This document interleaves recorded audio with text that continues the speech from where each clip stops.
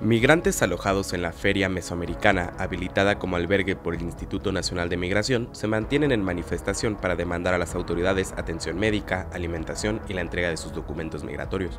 Las mujeres que pedían auxilio denunciaron que sus hijos se encuentran enfermos con temperatura y tos debido a la picadura de zancudos y la humedad en las instalaciones. Denunciaron presunto maltrato físico y verbal, así como discriminación de parte de las corporaciones policíacas. Está enfermo, muchos días, estoy sufriendo mucho, no pasa a mí un poquito de comida todos los días, no hay lo potable, ayúdame, ayúdame con mi hijo, está enfermo, está enfermo, tiene hijo dos años, un año, dos meses, ayuda por favor, ¿De dónde vienes? ayúdame, ¿De dónde eres?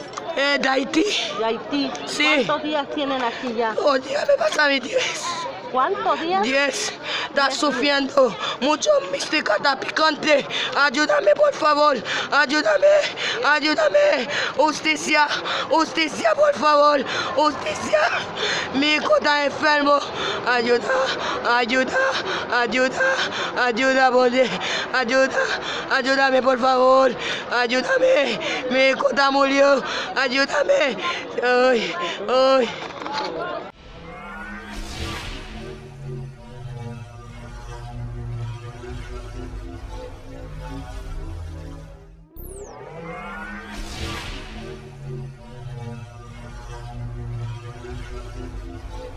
Thank